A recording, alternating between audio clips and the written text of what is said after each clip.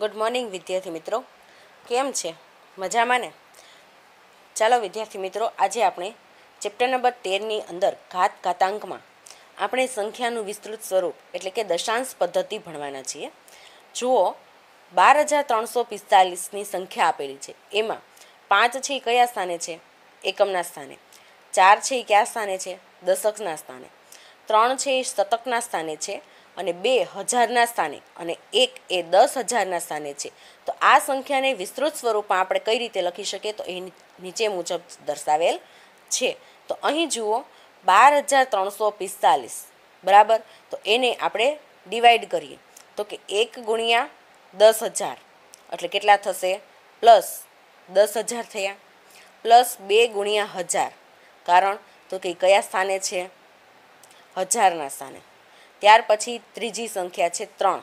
તો કે ત્રણ ગુણ્યા સો, કારણ તો કે ત્રણ છે કયા સ્થાને છે? શતકના સ્થાને. પ્લસ ચાર ગુણ્યા દસ, તો અહીં ચાર છે કયા સ્થાને છે? દશકના સ્થાને. વત્તા પાંચ ગુણ્યા એક, પાંચ છે કયા સ્થાને છે? એકમના સ્થાને. હવે જોઈએ કે એનું દશાંશ પદ્ધતિની અંદર કેવું સ્વરૂપ આવે. તો કે એક ગુણ્યા દસની ચાર ઘાત આપણે લખી શકીએ, કારણ તો કે અહીં દસ બરાબર એક પાછળ કેટલા શૂન્ય છે? ચાર. તો આપણે અહીં દસની ચાર ઘાત લખી શકીએ.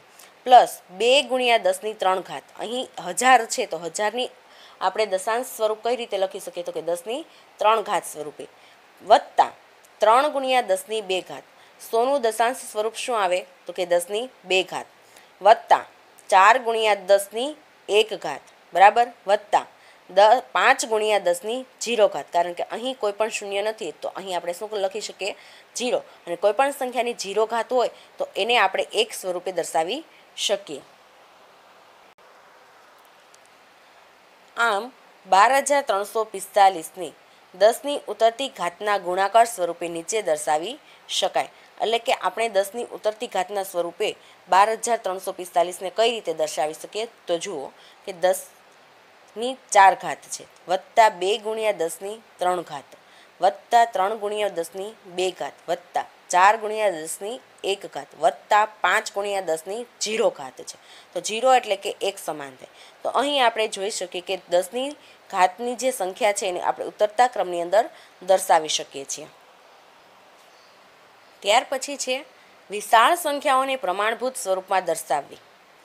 એટલે કે કોઈ પણ દશાંશ સ્વરૂપની સંખ્યા એક પછી એક દશાંશ ચિહ્ન રાખીને તેને દસની ઘાતાંકવાળા અંક સાથે ગુણાકારના સ્વરૂપમાં દર્શાવવાથી તે સંખ્યાનું પ્રમાણભૂત સ્વરૂપ આપણને મળે છે. હવે એના આપણે ઉદાહરણો આગળ જોઈશું કે નીચે એક સમાન અંકોથી બનેલી અલગ અલગ દશાંશ સ્વરૂપમાંથી પ્રમાણભૂત સ્વરૂપના ઉદાહરણ છે.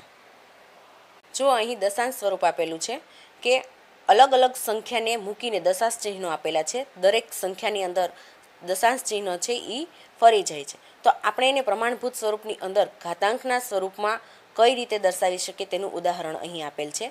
અહીં તમને એક સંખ્યા આપેલી છે, બરાબર? કે આઠ લાખ પાંત્રીસ હજાર છસો ને બત્રીસ. તો એને પ્રમાણભૂત સ્વરૂપની અંદર કઈ રીતે દર્શાવી શકાય? તો કે આઠ પોઈન્ટ પાંત્રીસ હજાર છસો ને બત્રીસ ગુણ્યા દસની પાંચ ઘાત એવી રીતે અલગ અલગ સંખ્યા મૂકીને દશાંશ ચિહ્ન દર્શાવવામાં આવે તો તેના પ્રમાણભૂત સ્વરૂપ તમે અહીં જોઈ શકો કે ઘાત છે એનો શું થાય છે તો કે ઘાત છે ઉતરતા ક્રમમાં આવતી જાય છે.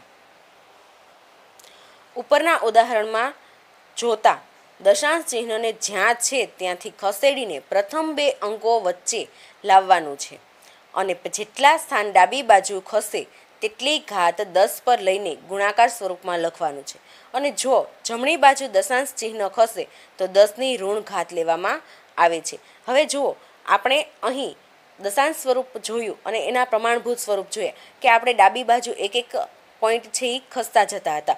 તો શું થતું હતું? તો કે દસની ઘાતમાં છે એ ઉત્તરોત્તર ઘટાડો થતો હતો. હવે જુઓ, તો કે જમણી બાજુ જો આપણે દશાંશ ચિહ્ન ખસેડીએ તો શું થશે કે દસની ઋણ ઘાત મળે.